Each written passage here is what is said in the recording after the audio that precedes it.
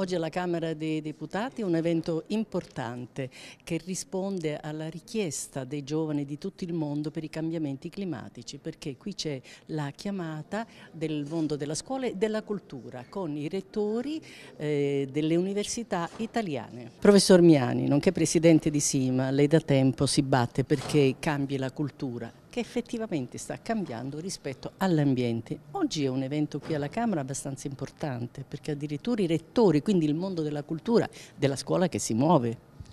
Sì, eh, mi permetto di dirle che è molto importante. Innanzitutto è la prima volta al mondo che si realizza una progettualità di questo tipo, ovviamente in questo caso rivolto al pubblico italiano e quindi alla conferenza italiana dei rettori, la CRUI, che peraltro ha dato il via libera a questa iniziativa e questa giornata viene realizzata sotto l'egida della CRUI e anche della cattedra UNESCO all'educazione, alla salute e sviluppo sostenibile. L'iniziativa è volta a coinvolgere il maggior numero di università pubbliche e private italiane che per farlo dovranno sottoscrivere il nostro manifesto, la cui sintesi è stata pubblicata su The Lancet il 12 di ottobre scorso e eh, nei fatti aderire a una serie di punti che prevedono l'introduzione di curricula universitari sui cambiamenti climatici e le loro ricadute sulla salute. Ci sono dati molto allarmanti dell'Organizzazione Mondiale della Sanità. Eh, su quelli che sono i determinanti ambientali della salute a tutti i livelli, in tutti i corsi di laurea e post lauream. Ovviamente SIMA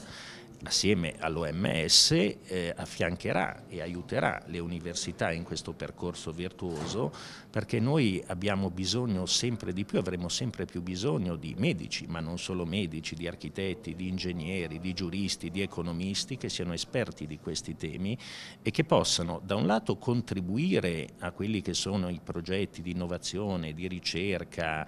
e di pubblicazioni su questi temi cercando di andare ad individuare quelli che sono i, eh, diciamo, le possibili soluzioni per mitigare questi effetti e per ridurre i cambiamenti climatici, da un lato. Dall'altro abbiamo necessità di diffondere il più possibile a tutti i livelli della popolazione e della società civile e non, quindi comunità accademica, scientifica, il mondo in confindustriale, ma anche il mondo della popolazione, della cittadinanza, la consapevolezza di questi temi perché conoscere questi, questi, argomenti e sapere anche attraverso le nostre linee guida come ridurne l'impatto vuol dire fare prevenzione pre-primaria. E la Società Italiana di Medicina Ambientale chiede ai rettori delle università italiane di aderire al manifesto University Rectors for All e la Call for Action al mondo universitario e della cultura vuole essere la risposta ai giovani dei Fridays for Future. Oggi qui a Montecitorio è un evento importante perché il mondo della cultura, dei giovani della scuola si muove per un impegno che sembra nei sogni del futuro, ma invece dovrebbe essere una realtà. Ecco, i rettori delle università, quindi le università, come pensano di agire? Oggi il tema della transizione ambientale è uno dei temi centrali del presente e anche del futuro e le università sono molto impegnate in questo settore da un lato per formare delle competenze nuove, quindi inserire dei contenuti ambientali in molte delle, dei curricula universitari che vengono introdotti, dall'altro per sviluppare pratiche, buone pratiche e progetti di ricerca nel campo dell'ambiente. Questa è sicuramente una strada molto forte per, per impegnare impegnare i giovani in questo settore.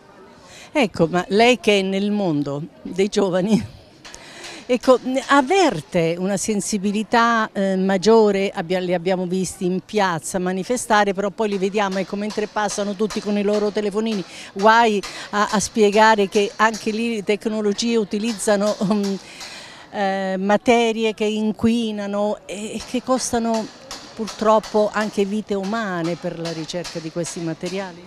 Sì, questo è proprio il tema, cioè la sensibilità ambientale è cresciuta molto tra i giovani, però non è cresciuta la cultura ambientale. Quindi questo è il lavoro che va fatto, va, va fatta crescere questa cultura e per far questo ci vogliono competenze, ci vuole evidenza scientifica per fare in modo che i giovani non solo diventano sensibili ambientalmente, ma si impegnino realmente per difendere l'ambiente. Ecco, mh, mm, Presidente, comunque voi mh, mm, farete in modo tale che anche nei curricula eh, eh, di, di, chi è nel mondo dell'università ci sia una sensibilità, ci siano dei corsi di approfondimento, non so che cosa? Sì, sì, si, verranno, si lavorerà, già si sta lavorando in questa direzione per sviluppare sia nuovi curricula sia per inserire nei curricula esistenti delle competenze che guardano essenzialmente al mondo, de, mondo dell'ambiente e della protezione dell'ambiente questa Call for Action vi vede tutti coinvolti? Ma sicuramente ci saranno molte università impegnate, chi vorrà sottoscrivere il documento sono convinto che ce ne saranno molte, poi lavorerà in questa direzione che è sicuramente nell'interesse dei giovani e del nostro pianeta.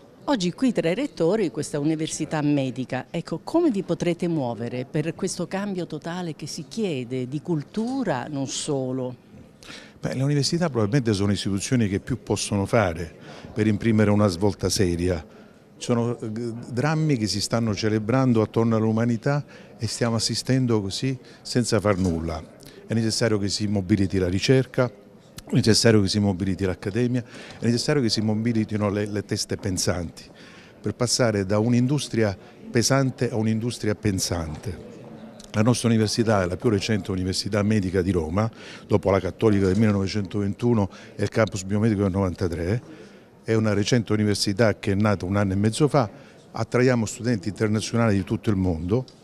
e abbiamo, abbiamo l'obiettivo di far crescere una nuova generazione di studenti che si occupano di sanità, che abbiano pure la mission di sviluppare un'economia e una società sostenibile. Professore, eh, noi con le nostre telecamere la ritroviamo sempre laddove si parla di difesa della salute dei cittadini e oggi è un evento diverso dagli altri perché è sceso in campo il mondo della scuola e della cultura, quindi lei è di appoggio?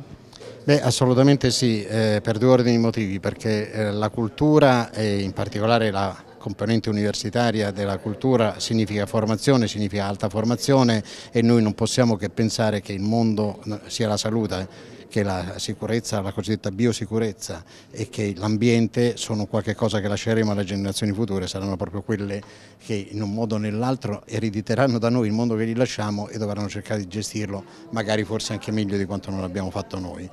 Eh, l'errore forse è stato di credere che con la tecnologia si potesse risolvere tutto, non ci siamo resi conto che la tecnologia qualche volta è anche lesiva e distruttiva delle cose che mamma natura ci regala dopo milioni di anni di selezione.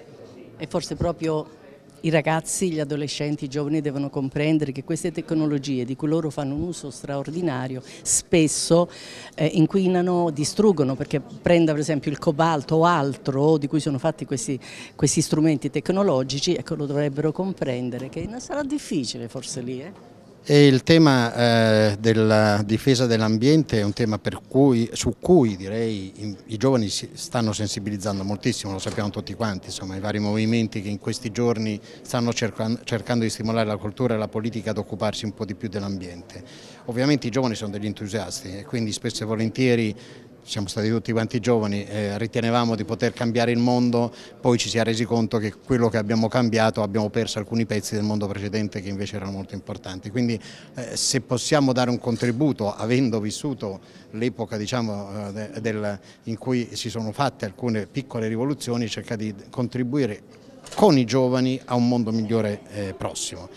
È chiaro che le tecnologie sono anche pericolose, ma è chiaro che le tecnologie ci fanno anche star meglio e ci fanno anche avere una serie di possibilità che era impensabile fino a qualche tempo fa. Ed è ovvio che la Call for Action è anche e soprattutto per le istituzioni. Non ha la, la bacchetta magica per eh, cambiare il mondo, ma in effetti che iniziative serie ci sono? Per la sanità Sanità e ambiente. Beh, sanità e ambiente eh, secondo me già riprendere il, il tavolo che fu iniziato all'Istituto Superiore di Sanità lo scorso anno per il laboratorio mondiale è una grande iniziativa come dicevo poco fa eh, poiché come con questa iniziativa, con il coinvolgimento delle università, l'Italia non ha nulla da invidiare per quella che è la formazione, eh, la ricerca, la programmazione. Eh, la salute del nostro pianeta corrisponde alla salute eh, di ognuno di noi. Eh, il Ministero fa già molto, Nel, dal 2003 ad esempio le, il piano per le ondate di caldo, sappiamo quanti anziani purtroppo muoiono durante l'estate, eh, iniziative ve ne, sono, ve ne sono molte, è chiaro che bisognerà collaborare con, con tutti, eh, controlli sull'agroalimentare, tantissime, tantissime cose. Anche la riconversione di alcune industrie, abbiamo visto quanti bambini per l'Ilva di Taranto hanno avuto il cancro. L'ho accennato prima e ho accennato quanto è importante mappare i siti industriali dove ci sono più incidenza di, di tumore, bonificare le zone di cui siamo già a conoscenza, individuare potenziali altri rischi ed eliminarli. Quindi il mondo della scuola si muove, si muove in un'ottica totalmente impensabile finora. Ecco che impegno c'è da parte allora dei rettori? Innanzitutto abbiamo accolto con vivo interesse e piacere eh, l'iniziativa da parte dei rettori che permette diciamo, anche eh, a livello istituzionale eh, di dare il giusto supporto a questa iniziativa eh, di connubio tra eh, il mondo del, dell'università, eh, la politica e dall'altra parte tutto ciò che riguarda la formazione che va dall'istruzione scolastica a quella universitaria. Chiaramente eh, il compito sarà arduo perché eh, diciamo, l'università certamente avrà il compito di formare i nuovi eh, professionisti, i nuovi imprenditori e i nuovi cittadini che poi daranno risposte alla problematica della salvaguardia dell'ambiente. Però dall'altra parte la politica eh, deve a questo punto sostenere questo progetto perché eh, attraverso diciamo, questo connubio eh, noi possiamo incidere eh, realmente sulla problematica dei cambiamenti climatici. E che poi bisogna attuare un'economia, lei diceva, l'economia circolare. Io ho eh, diciamo, puntato su un aspetto a me caro, sia sul piano accademico in quanto sono docente universitario, ma soprattutto sul fatto che vivo in un territorio dove il problema ambientale e il problema eh,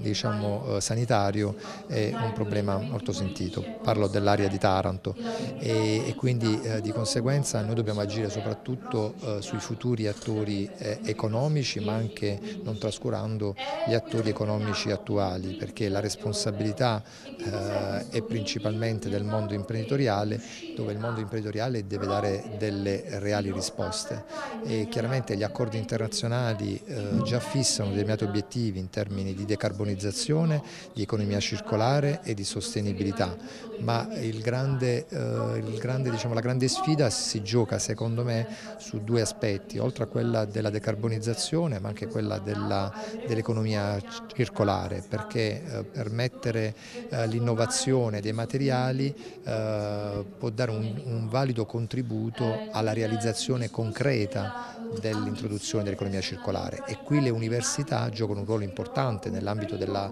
della, ricerca eh, dei, dei, materiali produttivi innovativi. Però ci, ci devono essere tanti attori protagonisti che collaborano per delle scelte che rendono il nostro pianeta ancora vivibile. Le scelte devono essere innanzitutto coraggiose, perché se non associamo eh, il coraggio di cambiare, il problema è che eh, si rischia che eh, le iniziative, seppur pregevoli, rimangano senza la concretezza che oggi necessariamente noi dobbiamo avere e quindi nel far questo Chiaramente la politica eh, in primis deve avere il coraggio, laddove ci sono delle, delle storture, di intervenire e di rimediare agli errori del passato. Noi la incontriamo spesso quando si tratta dei diritti dell'uomo di vivere in salute. Salute si tratta, riguarda anche un ambiente che oramai è inquinatissimo che dovrebbe essere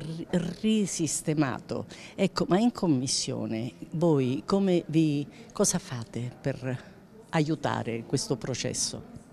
Beh, noi in Commissione facciamo tantissime cose, tenga conto che collaboriamo anche con la Commissione Ambiente eh, in questo senso per eh, proprio gestire sia la parte della salute che della parte dell'ambiente. Con eh, l'approvazione del registro tumori abbiamo fatto un grandissimo passo avanti da questo punto di vista perché è chiaro che grazie a questo noi potremo avere una, mh, mm, eh, diciamo, dei dati precisi di dove si verificano queste malattie, l'ambiente circostante e con il referto epidemiologico anche una statistica precisa precisa.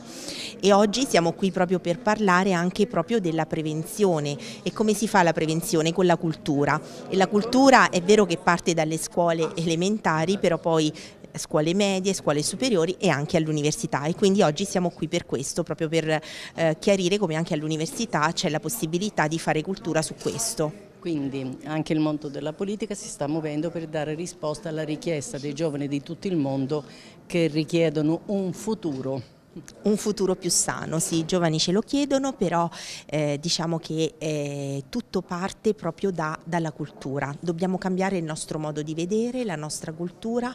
e io credo che oggi sia una buona occasione per mettere le basi su questo.